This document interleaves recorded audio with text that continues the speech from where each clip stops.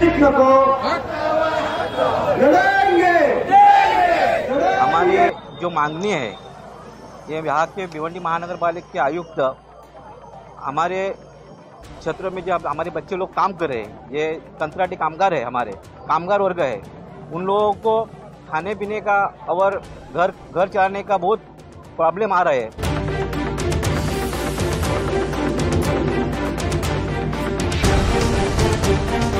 तभी भी हम लोग इधर क्यों खड़े हो? हमारे पेट में कुछ होना चाहिए, कुछ मिलना चाहिए। ये हमारा हक है। हमारे आदमी को कुछ होगा या तो ज़िम्मेदारी या महानगर पालिका आयुक्त रहेगी।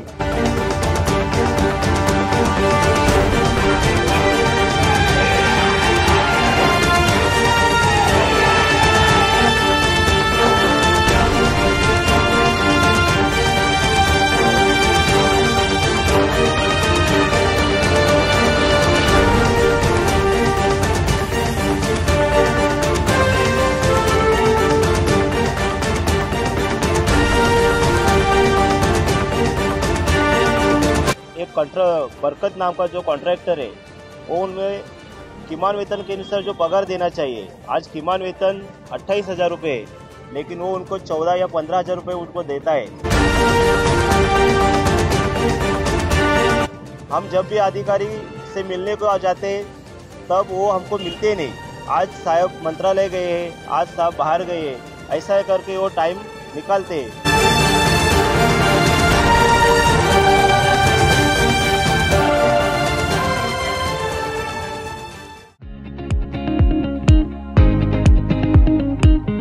भिवंडी का एक मशहूर और जाना माना सुपर स्टोर वैरायटी सुपर बाज़ार है, जहाँ आपको खाने, पीने और किचन प्रोडक्ट्स के अलावा दूसरे कई ज़रूरी सामान भी कम रेट में मिलेंगे। हर संडे यहाँ पर सेल भी होती है, जिसका फ़ायदा उठा सकते हैं। वैरायटी सुपर बाज़ार की तीन ब्रांचेस है, मंडई, तीन बत्ती और खरक रोड। विज़िट ज़रूर करें।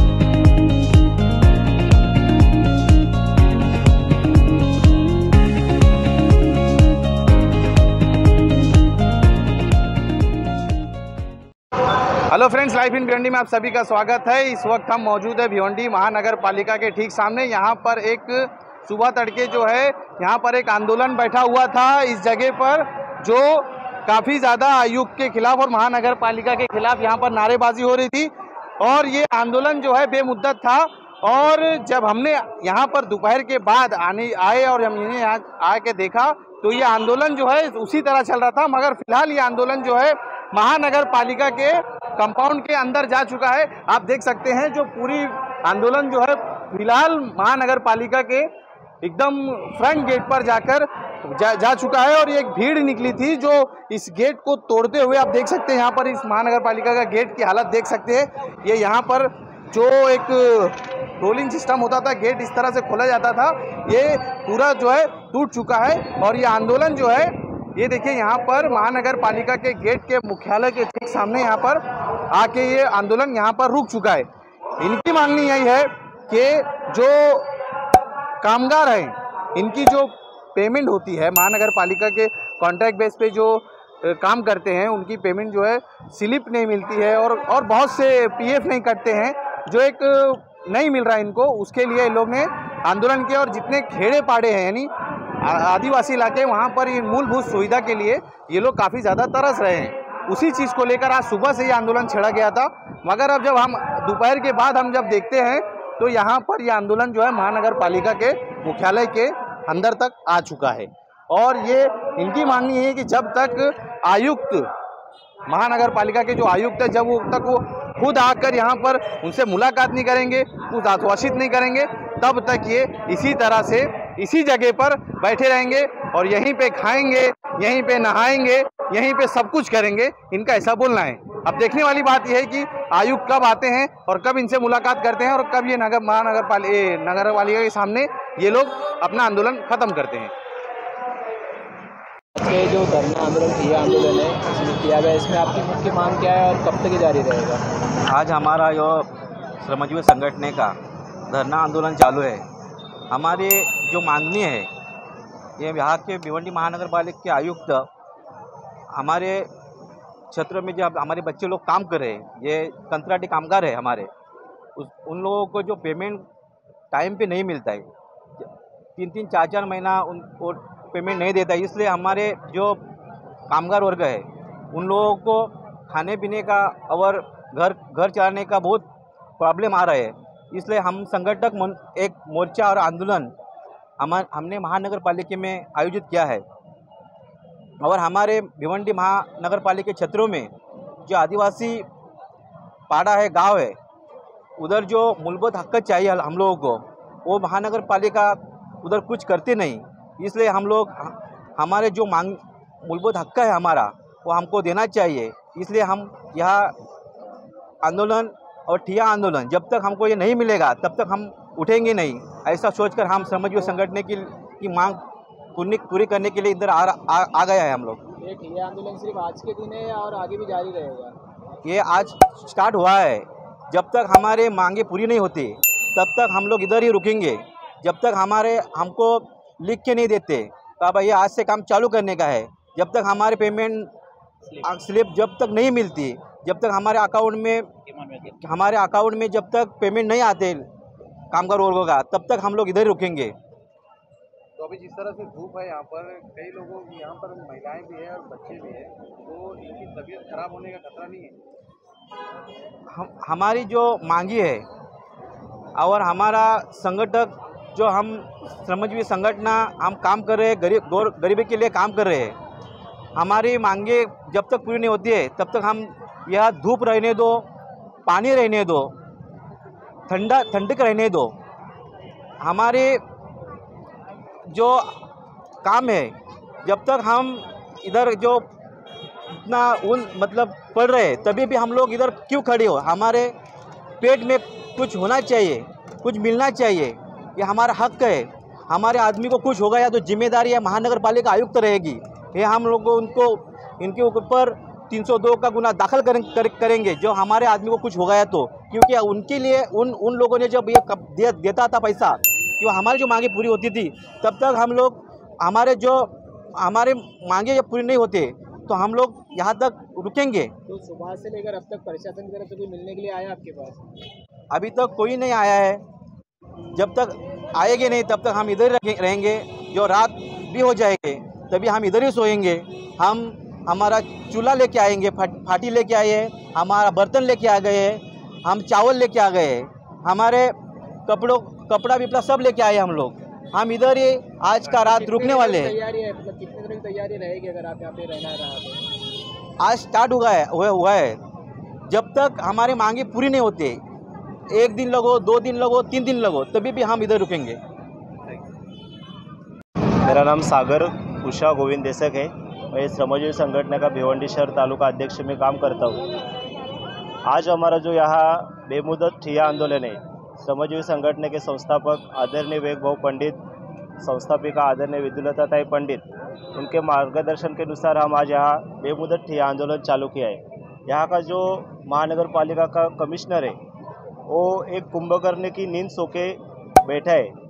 उसको हमने बहुत बार मिलके विनंती वगैरह किया है कि हमारे जो कामगार है, जो भिवंडी तालुका, भिवंडी महानगर पालिका में जो हमको रोज़ पानी आता है, वो पानी आने के लिए हमारे जो कामगार सुबह उठ के पूरे दिन, चाहे वो धूप हो, बरसात हो, उसमें वो काम करते हैं और उनका जो मेहनत का जो पैसा है, वो एक कंट्रा बरकत नाम का जो कॉन्ट्रैक्टर है, वो उनमें किमान वेतन के अनुसार जो पगार देना चाहिए, आज किमान वेतन अट्ठाईस हज़ार रुपये लेकिन वो उनको चौदह या पंद्रह हज़ार रुपये उनको देता है।